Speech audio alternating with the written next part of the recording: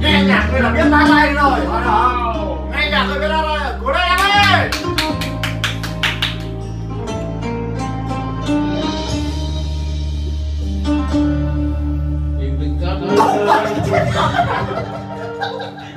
Nơi em xa ơi chân trời kia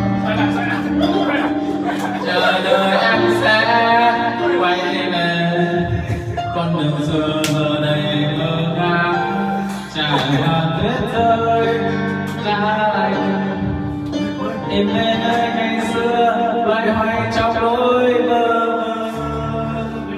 và trong cơn mộng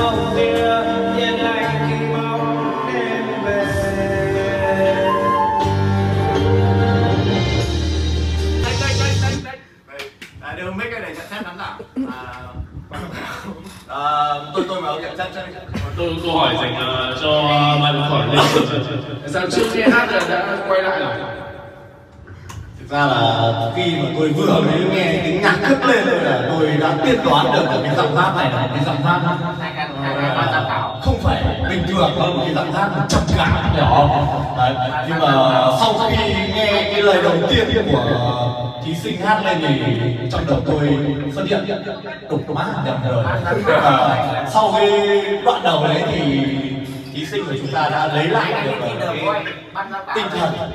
Đấy, và những lúc sau tôi cảm thấy rất ok và cô luận. À, tôi hy vọng là em ờ, sẽ để được của tôi.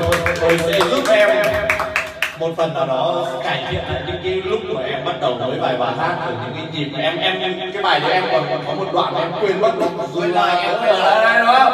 Hãy để được anh anh sẽ giúp em trở nên hoàn thiện hơn.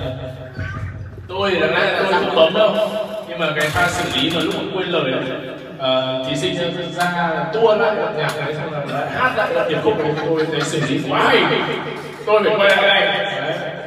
Đội tôi đang thiếu cái bầu này. Không ai làm được thế cả. Tôi biết như này nhá. Ờ, Tôi vừa tôi tôi nhường. Bạn ấy cho bạn. Tôi tôi, tôi nhường bạn. Bạn được chọn mà. Ừ thì biết biết thôi nhưng mà thôi bây giờ anh anh anh anh anh đừng chọn anh năn nỉ em em chọn tôi.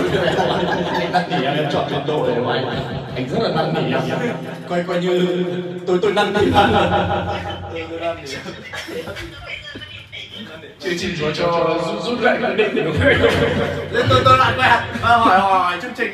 Ờ, cho chúng tôi hỏi là bây giờ chúng tôi có được coi như nay là chúng tôi là tôi tôi không có nhu cầu. Của thí sinh này anh tôi cancel cancel cancel